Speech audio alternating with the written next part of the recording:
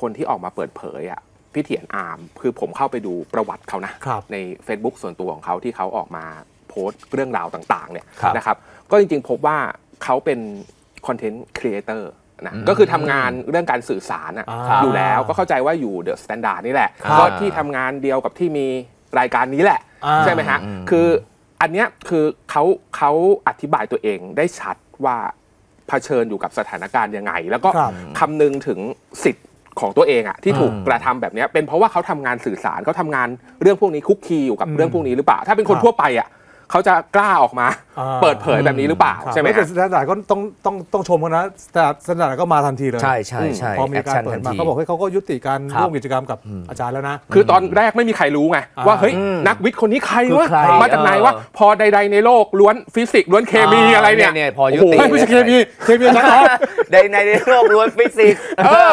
เออก็เดี๋ยวอาจารย์เอาเขาโพสต์โพสต์เองบอกว่าเออใด ๆในโลก ล้วนเคมีนั่นน่ะอาจารย์ออสนั่นนะครับอ๋อถ้าอย่างนั้นไม่เรารู้เลยอ่าเออถ้าอย่างนั้นน่ะชัดเจนเลยอะเรายกเรื่องป๋องแปงเรื่องครับสแตนดาร์ดไว้ก่อนอ่าครับเราจะมาเล่นเรื่องนี้ละฮะแก๊สไลท์เนี่ยแก๊สโอ้อันนี้เป็นผมพฤว่าติกรรมที่เราอืมต้องศึกษาเป็นคำใหม่ไงครับอืมเป็นคำใหม่มันเป็นการคุกคามไหมอืม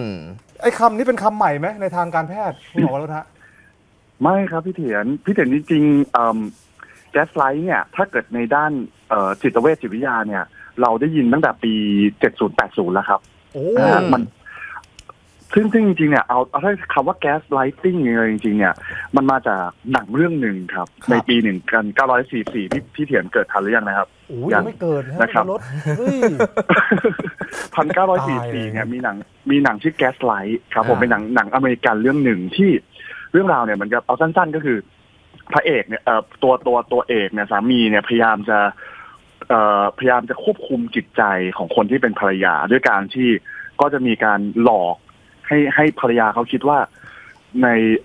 สิ่งที่เขากำลังเชื่ออยู่มันไม่เป็นจริง ยกตัวอย่างเช่น เขาพยายามจะหลีไฟให้ไฟมันหลีลง แล้วพอภรรยาถามว่า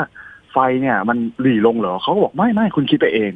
นะครับ หรือว่าบอกว่าตัวภรรยาเนี่ยเขาไปขโมยของทั้งที่จริงๆตัวภรรยาเขาไม่ได้ไม่ได้ขโมยของ แล้วก็เริ่มมีความเชื่อว่า เอ๊ะ การรับรู้ของฉันมันอาจจะปิดเบี้ยวไป ฉันอาจจะป่วยทางจิตหรือเปล่านะครับ ก็เลยเป็นที่มาของคำว่า gaslighting มาจากภาพยนตร์ชื่อ gaslight เอ๊ะเดี๋ยวนะเขาซึ่งทำไปทางเขาทำเพื่ออะไรฮะไอ้สามีที่เมียไม่ได้ทำนะ แต่ไปบอกว่าให้ยเธครัอบทำอย่างนั้น เธอทำไม่ดีอย่างนั้นอย่างนี้เหรอคือการ gaslight เนี่ยมันมีหลายเป้าหมายครับ เป้าหมายเป้าหมายหนึ่งที่เรามักใช้ก็คือการควบคุมเนาะเราต้องการควบคุมคนคนเนี้ย เราอยากควบคุมคนนี้ โดยการควบคุมปกติอ่าถ้าคนทั่วไปก็เจรจาพูดคุย แต่ว่า gaslight เนี่ยคือทำให้อีกฝ่ายหนึ่งรู้สึกอ่อนแอลง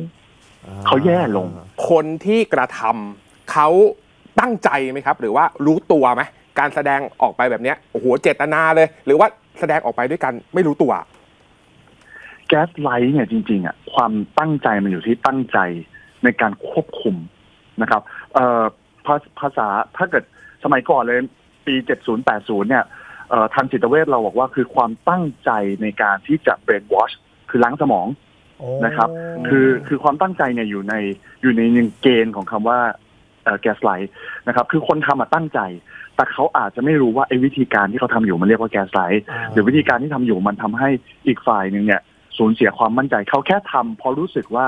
ไอ้สิ่งเนี้ยทำแล้วมันทำได้อะอืมคือ gaslighting เนี่ยมันเป็นถ้าเกิดพูดตามทฤษฎีทางจิตวิทยาสังคมเนี่ยมันเป็น มันเป็นการเรียนรู้ทางสังคมรูปแบบหนึ่ง คือคนที่ทำ gaslight เนี่ยไม่ใช่อยู่ๆวันหนึ่งทำเป็นขึ้นมานะครับอืมมันเกิดจากการที่เขาเคยถูกทำมาก่อนทำแบบนี้แล้วเขารู้รู้สึกว่าตัวเองถูกคอนโทรลถูกควบคุมได้ หรือว่าเขาทำทีละเล็กทีน้อยแล้วรู้สึกว่าเฮ้ยวิธีการนี้มันใช้ได้ผลมากมันทำแล้วมันทำให้พออีกฝ่ายในงตัวเล็กลงเล็กลงเรื่อยๆ แล้วรู้สึกเขาเขา ตัวใหญ่ขึ้นแล้วเขาสามารถเอาชนะ แล้วเขาได้ผลประโยชน์ทุกครั้ง